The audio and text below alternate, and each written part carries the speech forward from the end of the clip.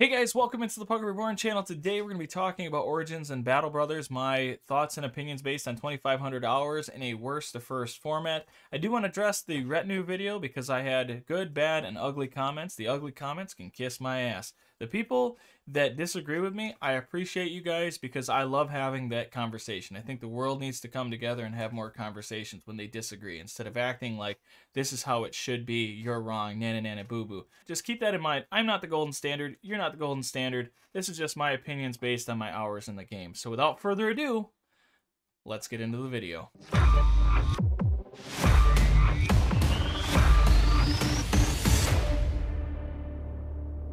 Coming in at number 14 is going to be the Manhunters. The Manhunters start with two Manhunters, then uh, four Indebted.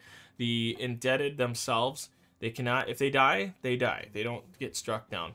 They only can get to level 7. They get 10% more experience based on the ledger.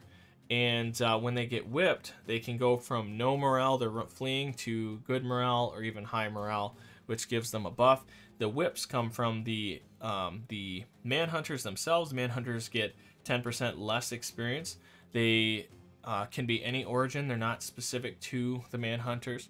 And uh, the last thing really is that you need to have equal amount of indebted and manhunters or more indebted and less manhunters. If you don't, then you'll have uh, indebted running away. Don't ask me how that happens. You think there'd be more manhunters to uh, indebted that would keep them in line. I don't know. Um, yeah, so the, and also indebted we all know what that means, overhead or overhype. So, yeah, we get it. uh, the other thing that's really nice to this faction is that you have, or this origin, is the fact that you go from 99 slots up to 108. I personally didn't know that until looking into it some more. You get a bunch of events across the land. You can have an event where you can get two indebted guys. There's events in the far north where you're getting a barbarian, or otherwise known as a northern indebted. They have more hit points, which is really nice. Now, when I play this, I usually go with a fatigue neutral build for my Indebted. The problem that I come across with the Indebted is that they don't have really good melee. So you're so for me, how I play it is I go a lot. A lot of times, all of them have backstabber because I have their strength in numbers, and that's what you kind of play by. Because you can oh, and this is the other thing, you can have up to 16 men on the battlefield, 25 total. Um, so that's how I play it. I think that that's the most effective way that I've come to find. And uh, yeah, you can smother your enemies, and it can be a lot of fun, but it also can be a pain in the butt because if a few good indebted end up dying, then you're starting you're starting from scratch in that uh, in that category, and they're not great bros in the first place.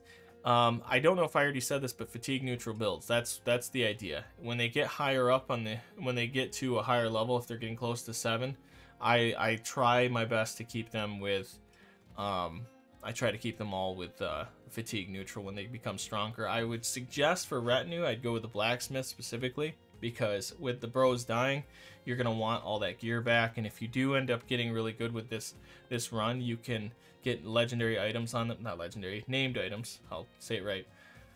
You can get a bunch of name items on them, and you don't want to lose that stuff. So yeah, it's it's a good run. The the the, the kryptonite to this run, as far as I'm concerned, or as far as I remember it, is the fact that uh, morale checks. Uh, you can have a bunch of manhunters whipping your bros, but when when everybody's screaming and everything, like the guys are screaming, you get overwhelmed. Uh, it can be a really slippery slope. The when you crack the whip at somebody, it's guaranteed to to bring them back, so you don't have to worry about the hit chance or anything like that. Um, it brings them back to a higher level of status. So you you can work it to make it work, but I just I don't know. I just the the extra thought to keep them in high morale. It's just not my favorite. It's just not my favorite origin. I don't know that it's bad. Let me know if you guys like it. I got one guy in the Discord that absolutely loves this freaking uh, this this setup, but it's just not for me personally. So let me know what you guys think about that. And also, in terms of the Discord, guys, while I got you for a second here, make sure to join the Discord. We have a, a, link below, and if you want to debate me on some of these things, I love having guys in. Just we can have a we can have a good discussion and uh, figure it out. So, anyways, that's my thoughts on number 14. Number 13 is going to be a new company. There's no advantages or disadvantages to this company. It's literally the tutorial without a tutorial. Um, it has the companions, three companions, and it can start with a lot of crowns starting out. if you start with high funds, you can get 2,900 crowns, but otherwise, there's no real special start to this. To me, this brings back nostalgia from when I first started, when there was no DLCs or anything. Um, this is what I was playing, so like I can think back to that time, and it was so it was it was a lot of fun. But uh, it's it's more just a memory. Not that I'd ever do it again because it's it's just so bland of a start. Uh, but at least it's not bad. It's not something that I don't like, like the uh, like the Manhunters. I just do not like the Manhunters, obviously. So uh, yeah, so that's number 13. Number 12 is going to go to the Southern Mercenaries. Now this is the inverse effect of the new company. Essentially, you start in the South, hence the Southern Mercenaries. You, you do get unique gear to the South, and uh, you do start with the three companions. You can start with the higher funds, and um, yeah, it's it's fun. This one actually is different just because you can start with a whip. I think that that is really fun to start in that regard, and then you can also go to the arena right away. And so there's there's more of uh, there's more going on here than the other one. It's not as bland. You can actually make this something unique and still have the crowns to start it out. Um, but yeah, there's no real special way that I can tell you to really run this. You can.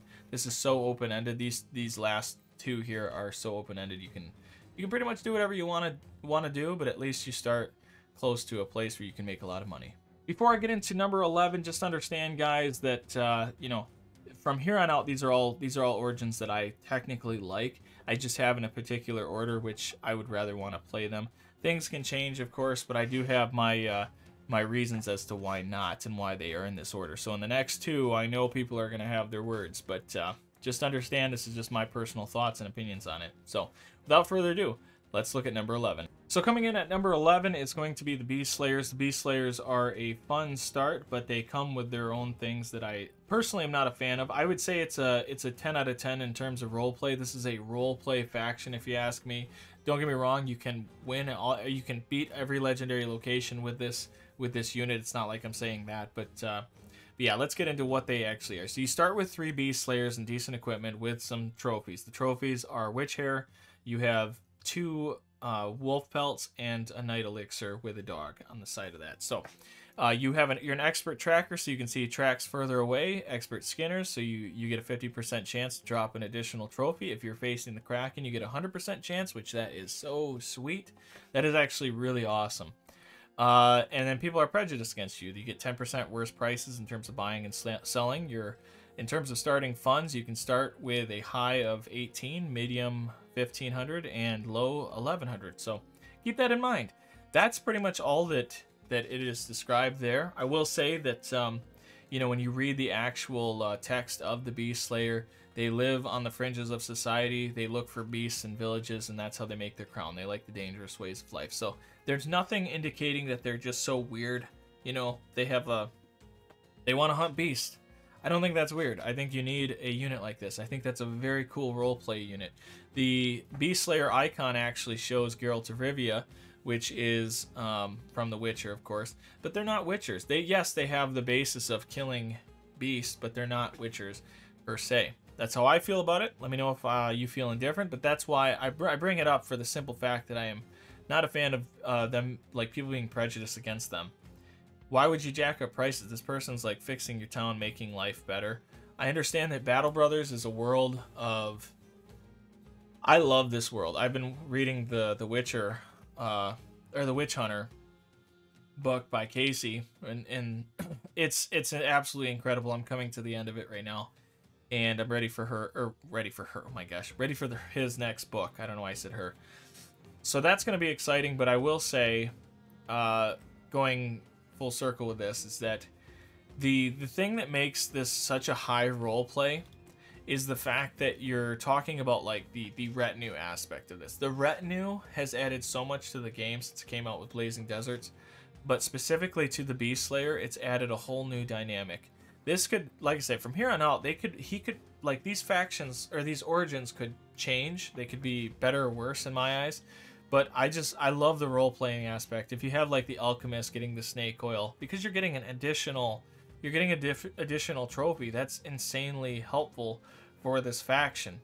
Another one could be like the lookout, having a greater radius so you can find those beasts. I think the lookout is a fantastic retinue uh, person, but more importantly to this faction, it's going to only add to that. The scout, of course, making them faster on any terrain 15% faster. I know how you guys feel about that. I think that's incredible as well. Getting you could actually go with the trader as well for the fact of trying to make more money because it can be a little uh, can be a little scarce. I would also say in terms of role play, the negotiator would be freaking perfect for this run because again you're you need to get more money as as best as actually possible in cartographer because a lot of times you're out in the you're out in the wilderness uh, constantly coming across stuff trying to look for more beasts so it's just like i said it's a real role play run um, that's that's one thing i love about it but it does fall short for me because i hate the price drop prices i like making money in this game oh man do i like blowing it too mostly making it uh, i'm kind of a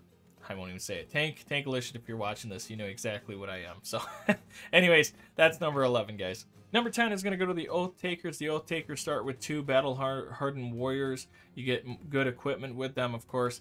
And uh, you are sworn to young Anselm's teachings, which gives you, instead of ambitions, it gives you oaths. And the oaths come with their advantages and disadvantages alike.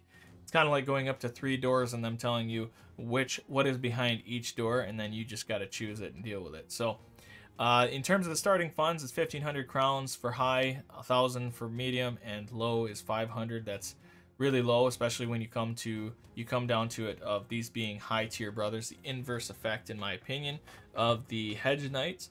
So. Uh, there is that. You can only have 18 brothers in your roster, which is kind of interesting. I did not know that uh, or I did not. I knew this, but I didn't know. I don't know why it's only 18. Yeah, because usually it's 20. But uh, besides that, you're forced to take those oaths because you don't have ambitions. You're not able to get like the Goblin Trophy, the Bone Necklace, or any of these special things that you can get through the the origins or the not the origins, the ambitions. You also can get the Lindwurm Slayer for free, and also as well, which I've done this several times now, is get the Oath Takers for free. They can get them in events and so on. There's plenty of events with the Oath Takers. So these these zealots are pretty cool. Um, I I really love Oath Takers, and if, if we're taking the origin aside, I love Oath Takers. I love uh, getting these guys. I feel like you can always find a good Oath Taker somewhere. They can be a little pricey, but so can Hedge Knights. They're essentially the more nimble Hedge Knights, is how I view them. Uh, they also have really high resolve as well, so that you have a multifacet. When you actually start this, I didn't say this, but when you start, you get Young Anselm Skull, which is a resolve uh, boost, and then also you get the battle standard. Now, if we're looking at the retinue aspect of this, uh, I think it's it's more of a, I want to say it's more of a meta run.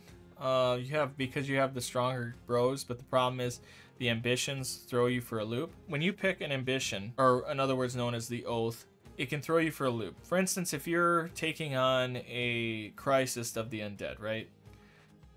What you're going to want is you're going to want some kind of buff against them, against the undead. But unfortunately, you can't choose that. You can't just like, oh, you're going to get this buff against the undead, whatever. That's not the case.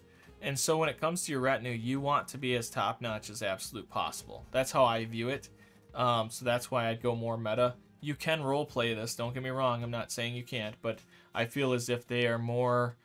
Uh, you need to be on your game need to be on your game because I've had it where I'm in a crisis that I need this and I'm getting all these other ambitions or oaths that are just counterintuitive to to what I'm doing. So I have to be in the right mood to play as the oath takers in order for me to enjoy it.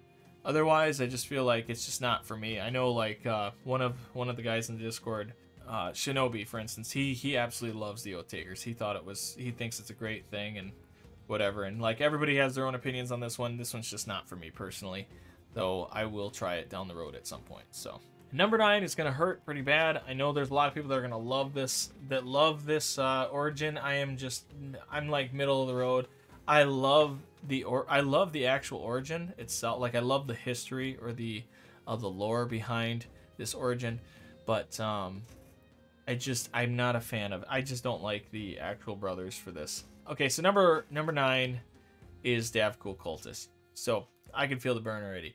The Davkul Cultists have four bros to start with. Um, one of the brothers do come with a whip, which again I say is a huge plus in my opinion. I think it's a lot of fun. Uh, but over time, you're going to have to sacrifice a cultist in order to give boons to other cultists and get them higher in the hierarchy. So when a there's a, every so many days there's an event that happens where you can you can sacrifice a brother. Now, in sacrificing a brother, if you have other brothers in your in your group that are not cultists, they freak the hell out because one of their brothers just got just got annihilated by all the cultists. And uh, yeah, it's got to be a confusing thing. If you know the lore and if you read, especially the Witch Hunter book, again, I've referenced that now. Get the Witch Hunter book. I'm telling you right now, it is incredible and it gives more context to Davkul. It's amazing. Love it. Uh, so yeah, just throwing that out there. But um, but yeah, so there's there's a late game effect that after so many sacrifices, eventually Davkul asks for your greatest, the greatest of thee. And so your best Dav, you have to somehow manage. If you really don't want a brother to die, you need to you need to get another brother to be ahead of him in terms of XP because at some point you're gonna have to sacrifice your best bro two best bros eventually. So you have so you get the Davkul helmet and you get the Davkul armor. It is ridiculously strong, ridiculously awesome looking. The the cosmetic of the armor is amazing as well. So the and again I, I said this before, the boons are incredible. The the things that you actually get from these sacrifices is incredible. The brothers, the actual cultists themselves, I don't like. I don't think that they're very good. I don't like that they. I don't even like where they're I just don't like them. I don't like getting Davkul cultists. I, I think it's fun. I think it's cool when you're converting. Oh, which brings me to the next point. I didn't bring this up. So to convert brothers, you have to uh, you can you can convert lowborn brothers. Anybody beyond that, higher or highborn, uh, you can't convert unless you give them brain injury. So there are people out there. I've seen this many times, guys, in my chat, um, where they purposely are farming injuries, like permanent injuries, like to to get a brain injury, so that they can transfer a hedge knight into a Davkul cultist, which is pretty nasty. If you get if you're able to do that, you can event eventually the events will happen where you're actually um, you know you're converting these guys, and that way they don't have a morale check when it comes, or they don't get a morale check. Then they don't get so dissatisfied that they leave your company because you just slaughtered their best friend. Um, besides that, there's plenty of events, so many events. Uh, new cultists will join, will join you over time. You can recruit more cultists. There are more. You can find the cultists all over the place, so you don't have to worry about that. Okay, the reason I don't like it though is the simple fact that like I don't like the when it happens. It feels like oh shoot, if I'm not close to town where I can go to a tavern and drink, you know, I lose good brothers and stuff. And and the other thing too is the melee is so bad. I find myself always picking backstabber and fast adaptation, giving them a single weapon which they can or one-handed weapon where they can keep hitting and keep buffing themselves. And then when they become when they become the the highest cultist they can be, it's like they're they're ridiculously strong. Like the buffs in terms of the hit points, in terms of resolve, in terms of the melee defense and melee, you get massive buffs. It's incredible. You can have some of the best brothers in the game based on these. So it's such a weird give and take, and I think that's why people like it so much. I like it. I like that, but I also just the brothers just suck. in my opinion. My opinion. Calm down. Um yeah. Now in terms of the actual retinue and stuff again, I would go for uh, just your your like recruiter for instance. Recruiter would be really good with the cultists because then you can you can pick and choose brothers that you really want. You have a greater uh, arrangement of brothers that can be either converted or more to look at when it comes to the actual cultists themselves. Uh, i would also go with the drill sergeant for the simple fact as well to get them at a higher level as fast as you possibly can. You have to with these guys because they're just not just not great brothers to start out those are like the main retinues I feel for them. Of course, you could go with the meta retinues like blacksmith or the cook or whatever. That's cool, but for what it's worth, that's what I would do with the cultist. Again, it's not my favorite. It's a good, it's a, it's a really fun, good origin, uh, but just not, not my, just not my cup of tea. Number eight is going to be controversial to many because of the Davkul cultists falling behind them. However, I'm going to explain why I think that they're a better faction overall and uh, why they're better origin and how it can be a lot of fun in, in terms of strategy. So, number eight is the deserters. The deserters start with three brothers that are deserters, decent armor, lower funds, and a noble house that's trying to hunt you down. You are the first to run in every action. So, like when you go to face somebody, you get the first act with all of your brothers uh, to either run away or to get closer.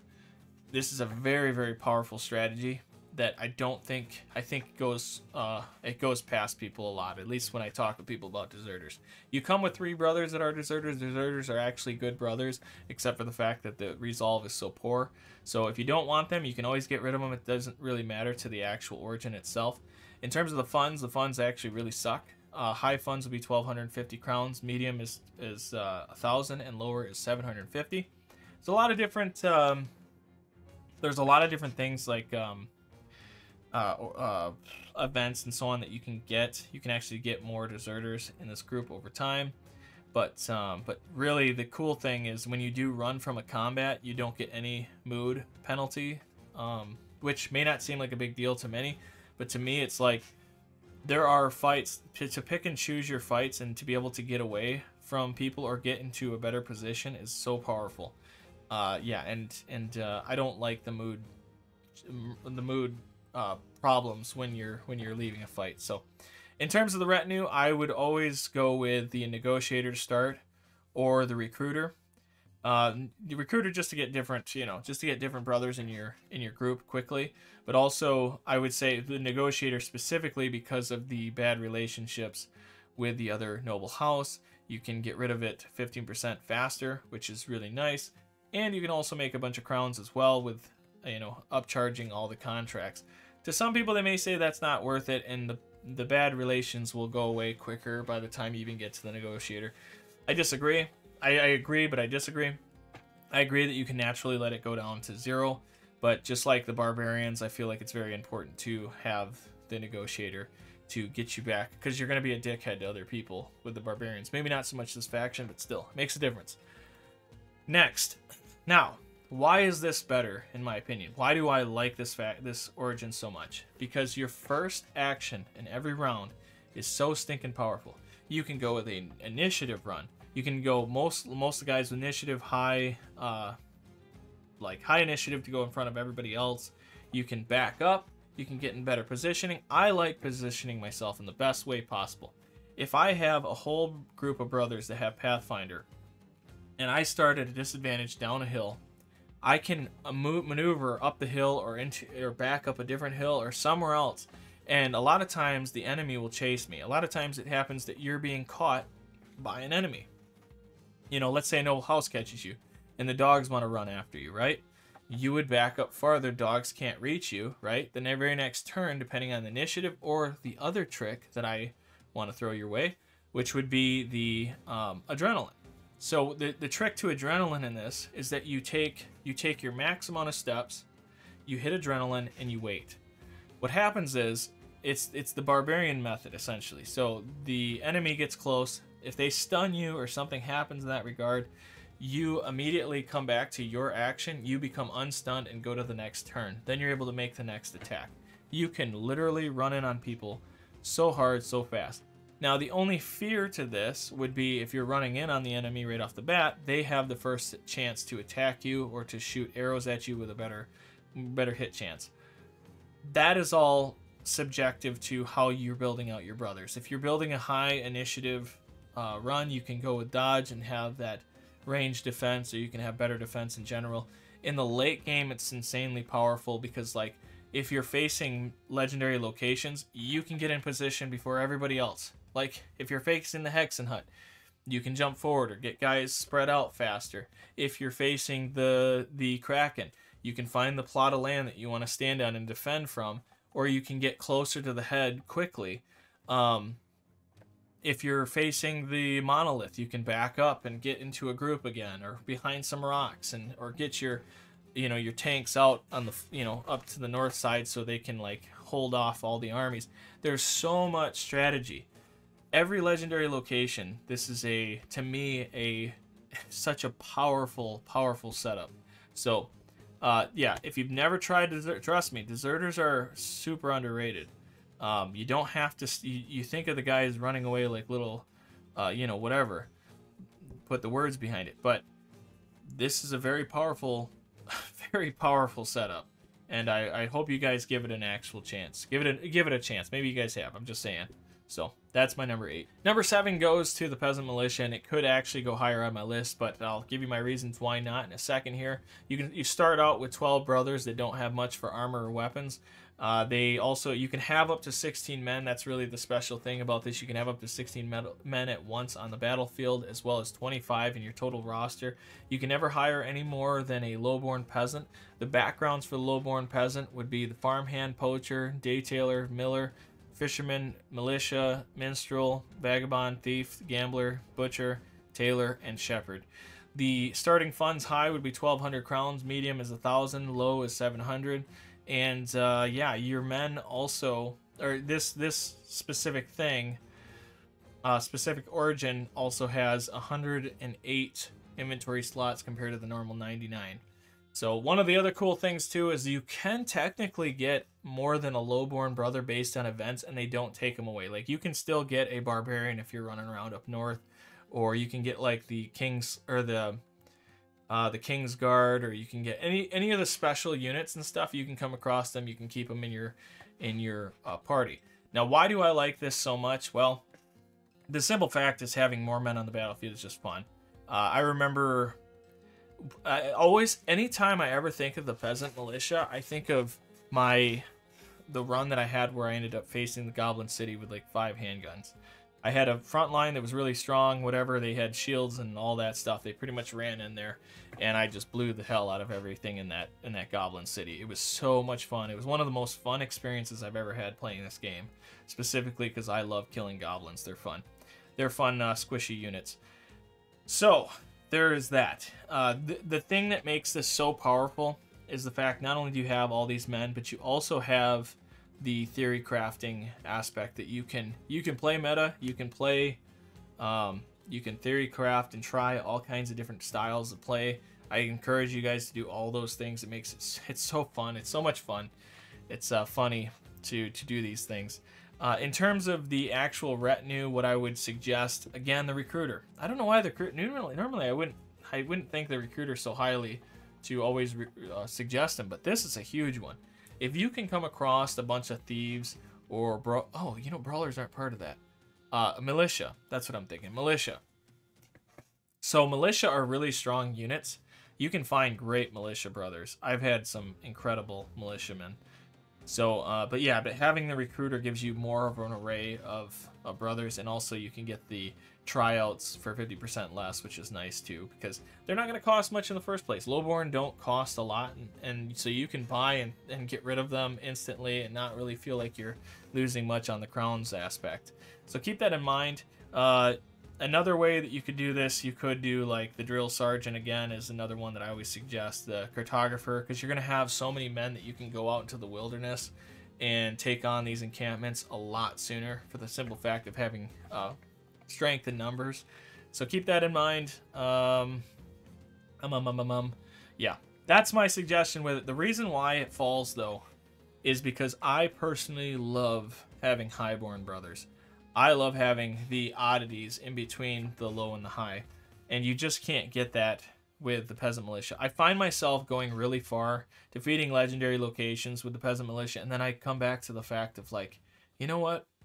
I miss being able to get a hedge knight. I miss oath takers. I miss having uh, like a, a sword master. I find myself always getting one sword master in all my campaigns, or just randomly, because it's like this. It's something about it special. So keep that in mind. You you just there is like that downfall of the late game where it's like it's not bad. It's fun, but you're just missing out on something. It's something's missing. It feels like when I play the peasant militia, and then I find myself switching switching origins. So now I'm just rambling. Anyways, that's my thoughts on the Peasant Militia. Number six is going to be the Gladiators. Gladiator starts with three experienced gladiators with special traits and highly high, very high daily wages. So starting out, instead of it being 35 crowns like they normally are for gladiators, they start with 50 crowns per gladiator, which is 150 per day. So keep that in mind. And then also their Legends of the Arena, they all have a unique trait the first gladiator has glorious endurance, which makes it so there's a 5% reduction over uh, every time he gets hit, uh, up to 25%, and then it resets itself each round. So pairing this with Indomitable will make it even more powerful, of course. So keep that in mind. Uh, you can have a pretty high reduction. And then the next one would be Glorious Quickness. Glorious Quickness, every time that you get a kill, you get 1 AP back. So if you're using a two-handed weapon that can, or a round swing, for instance, every person that you kill based on that will give you one back, which can give you more, uh, more attacks and so on. The next one is Glorious Resolve, which is pretty dang powerful. Uh, and it's a anytime you get a morale check, you have to you get to re-roll that morale check which I pers I love that so much personally. Um, so yeah, just keeping that in, in mind as well. Uh, you could have no more than 12 men in your roster at all times, and if three of all three of those starting gladiators die, then your campaign ends. The gladiators get up to level three. If you don't know this already, their stats and their stars are in. They're not like the stars are set in certain places with these brothers, but the actual stats can be pretty dang powerful. Um, you start next to the arena and that's one powerful thing because you can immediately start racking up the arena as well. It they already come with the arena fighter. So they already come with the arena fighter trait for facing the arena five times so that is really nice to to have right off the bat. Okay so the starting funds. You start with either 950 on high 700 on medium and low on 400 if you're playing on beginner if, you, if you're playing on beginner with this faction you get 300 crowns per level of those so yeah, there's that. The other thing too is the inventory. It goes from 99 to 90, so you get less inventory. So keep that in mind as well. There's a lot going on with the gladiators. I love the gladiators. I think they're a lot of fun. Yeah, you have to pay a lot in the beginning, but it's not bad. Like you can make that money up so fast and you can use like strategy with these three bros to be able to defeat whoever's in front of you. Um, there's a lot of role playing that you can do with this too. It's heavy in the meta factor. I've beaten this. I've beaten the whole. Uh, I've beaten Battle Brothers with Gladiators pretty easily.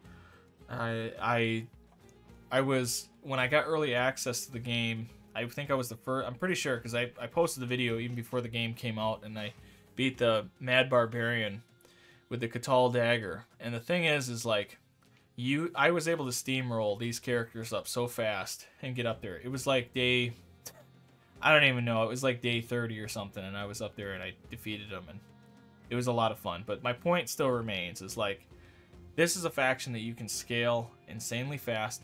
You can you start in the south, so that's a unique start in my opinion because of the arena. And uh, yeah, it's just a lot of fun. The next thing I would say in terms of the retinue, the retinue, this is one that I would put the paymaster behind. I think the Paymaster is really uh, prevalent for this run. Also, if you can get the Drill Sergeant, of course, so that you can level up your bros really quick. I like that as well. But the Paymaster is one that I really highly suggest. Uh, the Surgeon, really going with the meta, the meta setup is going to be helpful for you. And um, let me see, Bounty Hunter. I love the Bounty Hunter with this faction as well.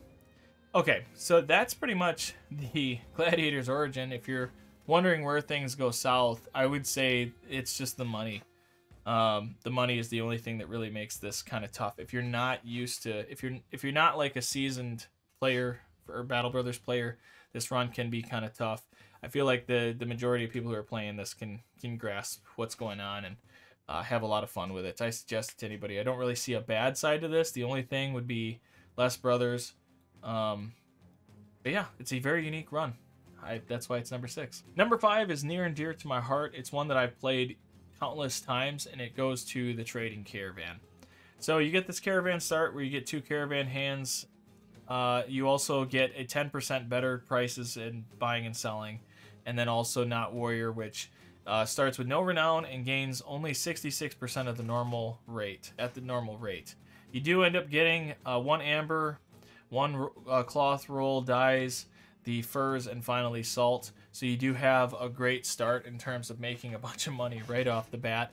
You can get, uh, in terms of starting funds, you, the high funds is 1600 medium is 1400 and low is 1100 doesn't even matter because again you go to the southern southern city states or a festival or any place that's special and you can sell all this stuff and make stupid money so yeah, this is one where you just there's no real like special thing to it except for the fact that you can buy and sell things at better prices, which makes it great in the role play and also makes it a really strong campaign as well. You may say, well, you know, renown, not having higher renown, not getting closer to, um, you know, getting a noble house to recognize you or getting into the late game, whatever like bonuses you get from having the higher renown. Sure, That's that's fine. But that's where I would go to the retinue aspect of this and say what I like to do with the retinue is I like to get the minstrel right off the bat. Makes you get 15% more renowned every action, and also gives you better uh, tavern rumors. And those rumors can get you to a place where you can get a named item. And if it's a named item like shields and stuff, you can sell for more money, which who cares? The other one that I would suggest would be the trader. Of course, the trader increases the trade goods by one. So any place you go to, you get one extra of whatever the item is. So if you see two salts and two copper, you could find three of each. And that is again going places and just selling stuff and getting very powerful. You can steamroll really fast when it comes to money. And personally i that's what i like i love doing that. I, I love uh, you know in real life i'm a trader. I make uh, i make extra money from trading. I have my own business and that so like this kind of tears to that as well i love that aspect um, and also, when you become higher relations with people, you can make more money on top of that. You can really, like I say, roleplay and meta, they both come together in this clash, and I, I personally, personally love this run. So let me, and you can, there's no like limitations on anything. Like there's no real limitations besides the renown. So let me know what you guys think about the trading caravan. Do you agree with that one? Because, uh, like I said, it's a special one to my heart. Number four goes to the Lone Wolf. And uh, Lone Wolf is an experienced hedge knight that has great equipment and low funds. He can only have up to 12 other warriors with him in his roster, and if he dies, the campaign ends. In terms of the starting funds, it starts out pretty low at, at 1200, medium at 1000, and finally low at 7, uh, 7, 700.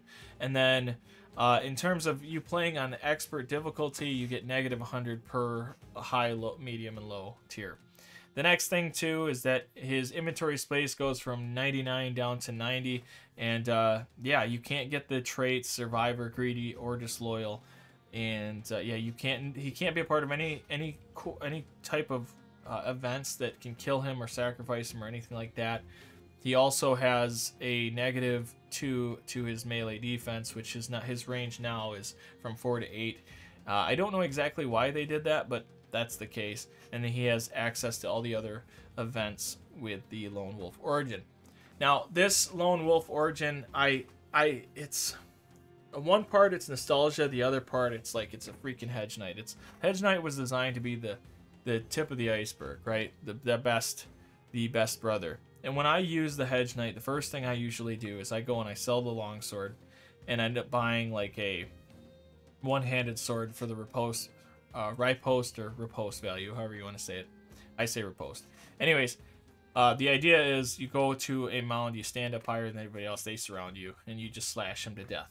And uh, that's how I go about it. There's a lot of ways to do this. Some people buy like some peasants to just stand in front of him, get slaughtered, then he goes in. Some people just use just try to get him up to the lone wolf trait and go through the whole campaign with just one brother, uh, the lone wolf guy and killing everything. There's a lot of ways to play this. It's a lot of fun. It feels like um, you feel like a badass when you start this run. You feel like you're you are the difference maker. Um, I just I love it, and I don't think I'm pretty sure it doesn't say here. I'm I've done it enough times. I'm pretty sure that you don't have to pay. He doesn't. There's nothing to pay for him. Like you, like he doesn't have a cost as long as he's the only brother you're using. So it's all, all your crowns are pure liquid. So that's really cool. In terms of the retinue, again, I like Agent for him, Blacksmith for him, Bounty Hunter for him. Uh, cartographer is really powerful with him because he, you know, again, if you're just going out in the wilderness, immediately you're gonna find stuff. Having outlook to see farther. Uh, there's so many things. So like again, you can. There's so many ways that you can build him out, and so many ways that you can play this campaign. It's so open ended, which makes it so much fun. Um, I could have them higher up on my list, but there are other ones that I just I just simply like more for the uniqueness factor. But uh, but yeah, so Lone Wolf is pretty simple. It's pretty cut and dry. There's just many ways to play it. It's really fun. It can have its it can be really difficult or it can be really easy, all depending on how you decide you want to play it out. So that's number four. Number three goes to my old number one, and it is interchangeable with the next three because it is such a great origin. I had so much fun either RPing it or from the meta side of it. It's just an overall fun, good, good uh, origin. So number three goes to the Northern Raiders. It's three experienced barbarians that have issues with the Northern houses that hate them, of course. And uh, the thing that makes them so special is the fact that you have a higher chance to get any items slain from enemies as loot. Um, this is going to be the most prevalent factor when it comes to the Northern Raiders. The Ra- the barbarians themselves are at level three, and they have a monk tagging along, so you have a little bit of wiggle room to make them what you want to be or what you want them to be as you're heading south. The starting funds are 2,500 high, medium is 1,000, low is 700. And in terms of what they're carrying, they have silverware, they have silver bowl, and finally a warhound, which can help you out in terms of those battles heading south. And once you get to the southern factions, you can start selling things for better money or better crown. So keep that in mind. Um, there are events like to get rid of these negative relations with the northern houses. There's events like this one here, this uh, Raider Origin uh, Redemption. It's where they're like, hey, we don't want to do this anymore. Give us some money and we'll be good. That's cool. The thing that I would suggest if you're doing this run to get rid of the bad relations right as quickly as possible is to get the first crisis event to be the Noble Wars. Noble Wars make it so that when you complete the Noble Wars, they immediately all the factions are like, okay, we're signing a treaty. We're not enemies anymore. Whatever. They might have a little. They might have. Uh, you know, they may still be a bad relation with you, but they're not going to attack you anymore. And that is uh, that's pretty helpful, especially when you're doing something you get caught off guard with mercenaries chasing you down because of the bad relations. Or you can choose to sod off, or you can tell them to sod off and go kill all of their caravans. And that's kind of the, the tricky thing with this faction is like you can role play it out so hard. Um, you can find the caravans and stuff, these enemy caravans, and just keep keep destroying them and steal all their armor. You can get stupid armor early on uh, with this faction. For the simple fact of like you find a caravan that's only got like five five um, noble housemen within it, and you kill them, you can take their armor right off the bat. You have good good units. You can get good units quicker, and uh, yeah, this faction is so open ended. I love it. I would say in terms of the retinue, like things that are very important, I would say like like blacksmith, for instance. So that way, if somebody does die, you get all the armor that you are quickly getting on your bros early on.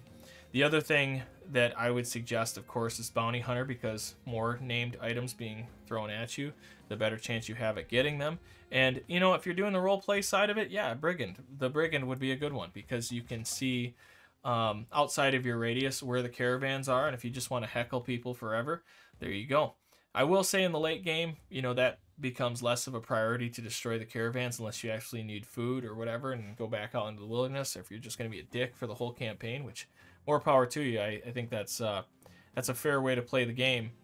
Um, but yeah, that's that's just my opinions on it. Uh, you could go with like the scavenger, so you're you're recouping a lot of the stuff that you're destroying, and on top of our and on top of actually getting it and bringing with you out of wherever you're at, uh, like like um, destroyed chainmail. Like you're not only destroying the chainmail and keeping it, but you're also getting tools and supplies as well on top of that. So yeah, there's so much good here. It's so much fun. I, I've had uh, I've had a ridiculous blast playing the Northern Raiders. Let me know what you guys think in the comment section below. Number two caught me by surprise when it first was released, and it's the Anatomist. I stinking love the Anatomist. I can't tell you the refreshness that this campaign has given me to play Battle Brothers, to come back at full force on Battle Brothers. Um, I've beaten the whole game with the Anatomist. They are insanely strong, insanely fun. The they are literally the beast slayers. I wish that I they are literally they this is the closest thing to the Witcher in my opinion because they kill something, they, they extract whatever it is from them, the elixirs from them, they give them to brothers and give them new mutations, make them stronger. It's it's freaking amazing. I haven't even gone over what it is. So you start with three men with really high funds, starting like a lot of funds, which is even funnier. So you get three anatomists. The high funds would be 30 3200. Medium would be 27 and low is 2200. The uh, the researchers again they take the fallen corpses they gain knowledge to empower your men to make them stronger but they're not fighters. Which is kind of interesting because anatomists when you when you hire anatomists usually they have really high melee which is so bizarre it, eh, but they're not fighters trust me they're not fighters. So the fighters uh, your men will never never be confident morale.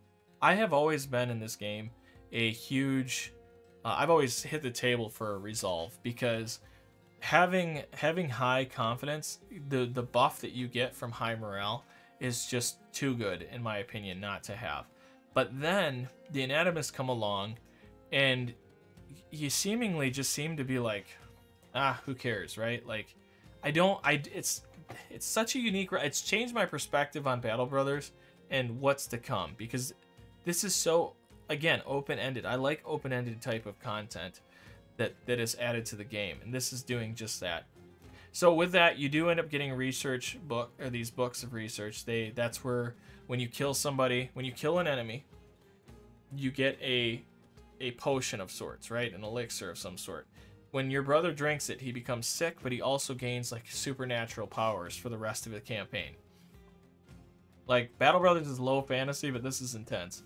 Um and each one of these books tells you what it is that that that allows you to use that that specific potion. So if your brother dies and he has that potion, he or he took it, you just have to kill the enemy one more time and they'll make it again, and then you can give it to another brother. However, the trickness, the trickiness to this is, you can give all these potions to a brother, but he'll be sick for a hundred plus days if you have way too many on one brother. So what you can do, the the trick is to get the uh, the water skin from the grotesque tree which eliminates any of illness, any illnesses and stuff, so you can get rid of all the sickness. So you can pretty much make a brother who is un, who is otherworldly, and uh, and yeah, and it, I've done that now, and it was just like the most. It was one of the coolest things I've ever done in Battle Brothers. Um, but yeah, so all these potions they're super unique, and I I can't even remember all of them honestly. But like killing the Kraken, and I remember getting the Kraken. I can't remember what it is now, but I just remember thinking it was uh, it was such an incredible experience.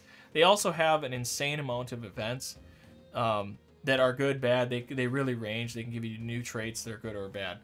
So just keep that in mind as well. In terms of the actual retinue and what I would do with the retinue, you know, it's kind of tough. I would say the bounty hunter is a good one.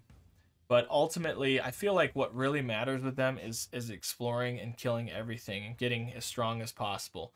So Outlook would be a really good one to have. Another one that would be good to have is like the cook, so you can be out in the wilderness longer. I already said bounty hunter. Um, I would say another one is the, uh, yeah, the scout definitely. So, yeah, maybe more of the meta, more meta stuff, but find a brother. My suggestion is find try to find the best of the best brothers and to give them these potions. Because not every not all these potions will tier to one specific type of unit. You can there can be all types of different units like guys with shields or guys that are uh, backliners or, or they seeing in the dark for instance and all that kind of thing. Like it is such a freaking see this is what i was gonna say. This is the one this is the faction that should have the should have the 10 negative 10 prices. These guys are all weird. You're going to have guys walking in it's like literally a circus. Like people are walking into town looking different. like considerably different. Uh, and I feel like Beast Slayers should have that that ability should be on here. And the maybe the never be confident morale should go to the Beast Slayers. Which may not make as much sense, but I think it makes more sense than people just not giving them right prices instead of seeing these these plague doctor looking guys um, yeah, so that's kind of my thoughts on that.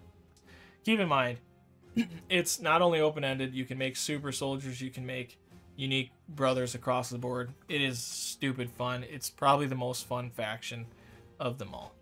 Number one is going to go to the Band of Poachers.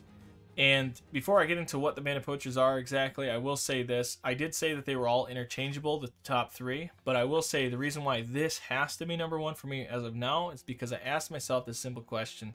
If I had to eliminate every origin in Battle Brothers and only be able to play one origin campaign, what one would it be? I found myself kept picking the Band of Poachers. It is so it is a strong campaign, but it's also a lot of fun. So let's get into what exactly it is.